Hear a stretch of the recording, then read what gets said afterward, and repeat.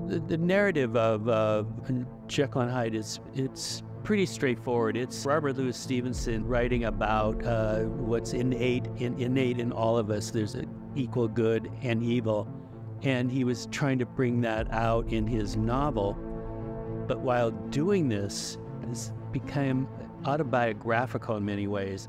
Is that he was fighting his own demons, Robert Louis Stevenson, he was a sickly child, consumption pneumonia, and everything. Everything was wrong So he had nightmares as, as Stevenson as a child, and he was constantly on drugs to help him in you know his condition.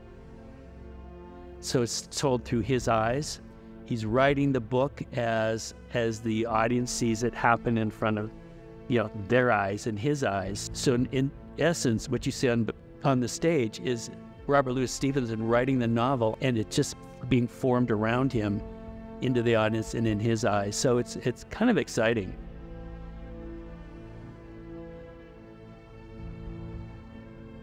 What's happening in our culture with fentanyl and what's happening, it's really ruining people, ruining their minds and everything. And, you know, all the opiates have been prescribed to people for, you know, that shouldn't have been. And people are addicted now and it alters your mind and you're not the same person. You watch, see it on the street, you see that, and it, to me, it's just, it really is a parallel.